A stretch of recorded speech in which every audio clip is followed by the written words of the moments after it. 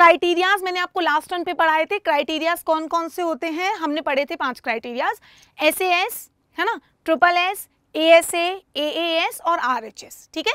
पाँचों क्राइटेरियाज के बारे में बहुत अच्छे से मैंने एक्सप्लेन किया था, कहाँ पे क्या लगता है, ये भी बताया था। तो उन्हीं क्राइटेरियाज को यूज़ करके हम आइसोसिलिस ट्राइंगल की थ्योरम्स को प्रूफ करेंगे। चलिए तो सबसे पहले आपको पता है कि आइसोसिलिस ट्राइंगल होता क्या है। भाई, जिसकी दो साइड्स इक्वल हो, उसको हम आइसोसिलिस ट्राइंगल बोलते हैं। तो आप यहाँ पे अगर एक एग्जांपल लें, और उस पिज़्ज़ा का सेंटर अगर हमने कंसीडर किया, और हमने उस पिज़्ज़ा को कट कर दिया सेम सेंटर से दो इक्वल डिस्टेंसेस के साथ कट करके नीचे का जो सर्कुलर रीजन है, उसको भी हटा दिया।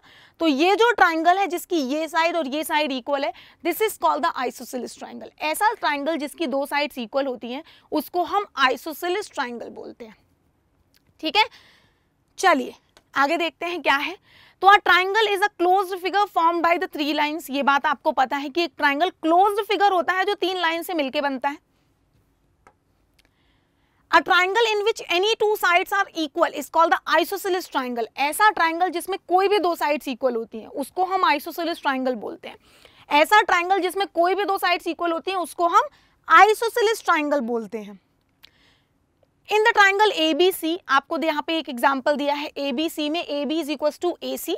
So this will be an isosceles triangle triangle A B C will be an isosceles triangle ठीक है? सिर्फ़ और सिर्फ़ कोई भी दो साइड्स इक्वल होनी चाहिए।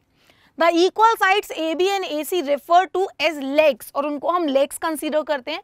जो साइड्स इक्वल होती हैं, उनको हमेशा हम लेग्स कंसीडर करते हैं, और इसको जो इक्वल नहीं होता, उसको हम बेस बोलते हैं।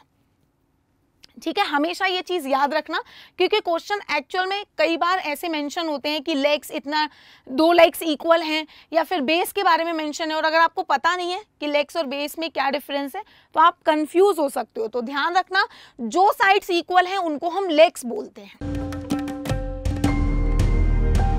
Keep imbibing. We believe in you.